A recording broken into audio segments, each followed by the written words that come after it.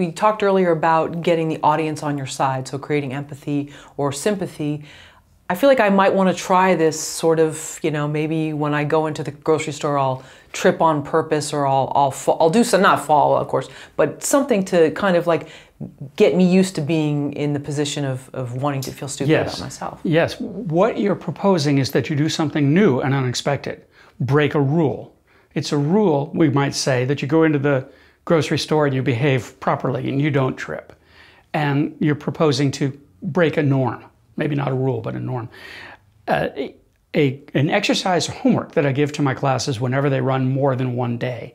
At the end of the first day, I always tell them between now and tomorrow morning, go out and do something you've never done before. It doesn't matter what it is, and it doesn't matter how you go about deciding what to do. The experience of doing something you've never done before carries so much creative value and so much psychic value that it's worth having just for the sake of having it. And I illustrate this. Um, if you can imagine, I'm trying to think of it. Uh, here's, here's a great illustration.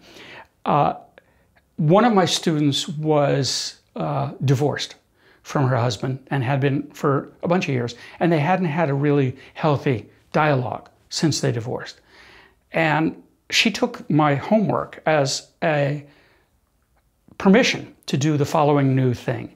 I'm going to have a civil conversation with my ex and I'll call it homework so that it's safe for us both. And she entered into that and had a really productive experience. And I asked her later, How did you feel? And she said, Well, at first I was really afraid because I didn't know what I was getting into and, and I didn't know if it was going to work. And then when I saw myself in the moment and having a good experience, I felt really powerful. Like I'm, I'm in charge of this moment in a way I've never been in charge before. And then coming out of the moment, she said, I just felt high.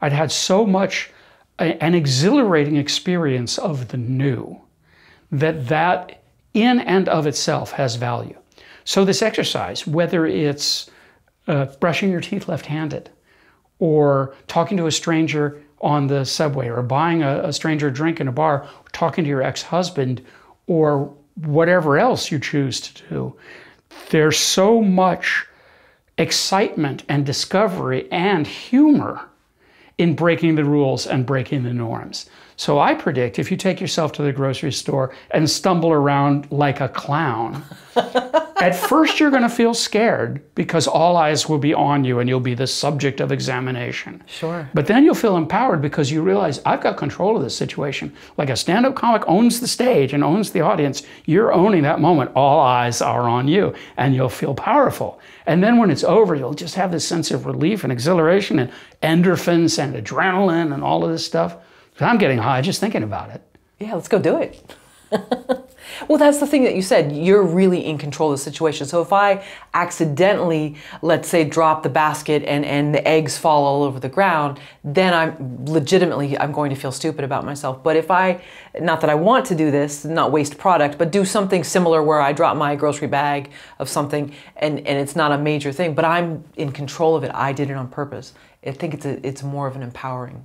Not only that, but if you do happen to drop the eggs accidentally, you can absolutely make a surefire joke out of it and absolutely win the allegiance of everybody around you by using a comic tool called telling a lie to comic effect, stating the opposite of what's true.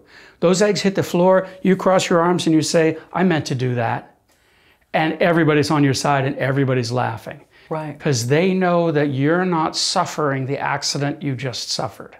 You can imagine. Sorry if I. No, please, please. You can imagine. I've been, I've been thinking about this a lot. I'm writing a new book. It's called The Book of Practice. The subtitle is How to Do Better What You Want to Do Well. And one of the things that I'm looking at is this idea of uh, self monitoring. I, I try to be in a moment and also be observing myself in the moment at the same time and just checking in at real in real time am I doing what I want to be doing now? I'm checking in with my hands and reminding myself, let's get those hands under control and don't let them fly around all over the all over the camera. I know you don't care, but I'm self-monitoring. It's a goal that I have to keep my hands still.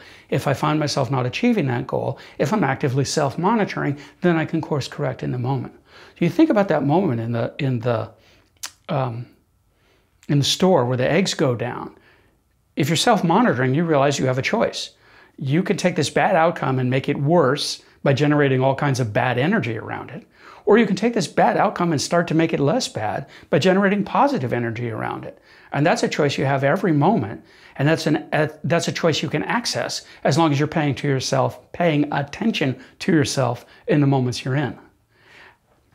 Well, is that part of being in the comic space is really dialing into who you are, your idiosyncrasies, and how other people see you? Yes, yes, exactly. There are a couple of things to think about. One is you have strengths that will be your strengths. And knowing what those strengths are and how to use them and leaning into them further is, is better for you. There are a lot of things that you just can't do well, comically or creatively. You can choose to do the easy things, you can choose to get better at doing the hard things. But there is a, a, relationship between what is natural to you and what works well for you. And I can give you an example from a kind of a different perspective. As you might know, I'm something of a self described expert in poker. That is to say, I've written 10 books on the subject, so I should know one or two things about it. And one of the things that I know is poker players at a table have an image. And that image might be a fear, fearsome image, a scary image, crazy image, innocent image, stupid image, playful image, uh, clueless image, intense image, checked out image, any of these things. For effectiveness in poker, you need to ask yourself, what image can I project that's in harmony with my nature? In other words, how can I be more me? So for myself playing poker, fearsome doesn't work. I can't scare people.